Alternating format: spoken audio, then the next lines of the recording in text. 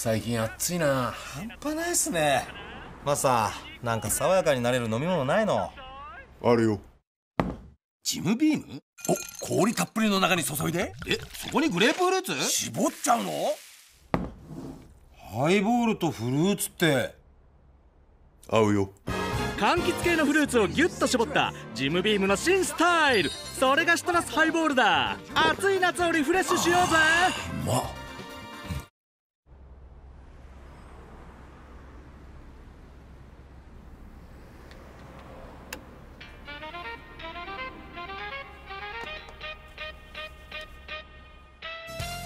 ロッキーズオンラインショップいやみんな楽しい夏を満喫してるかな？おいニコール!一体どうしたんだい?もう夏の暑さでぐったりよ。体が熱くて熱くて背中でベーコンエッグが焼けちゃうんだから。何かひんやり爽やかになれる飲み物とかないのかしら？ニコール!それなら今回紹介する商品が最適だよ。その名もシトラスハイボール作り方はとっても簡単さ。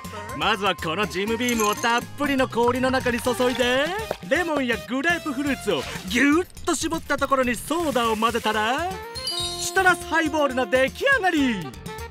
やだもう。聞いただけで飲みたくなってきちゃったじゃない。早速作ってみま。ちょっと嘘でしょ？ニコールどうしたんだ？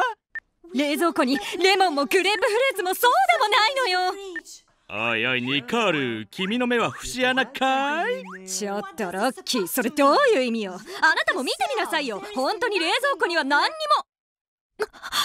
レモンジーナ？えもしかしてレモンジーナでも作れちゃうの？その通りだよニコール。フルーツとソーダがなくてもレモンジーナを注ぐだけで特製シトラスハイボールの出来上がりさ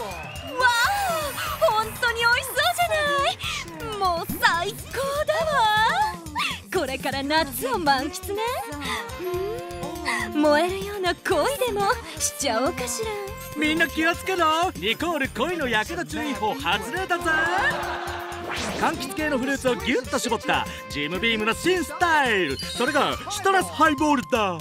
爽やかなビームで女子もメロメロねさあみんなも今すぐクリック。もちろんお電話でもお待ちしています。人気沸騰中のシトラスハイボール。あなたの気分を爽快にすることをお約束します。暑い夏をリフレッシュしようぜ。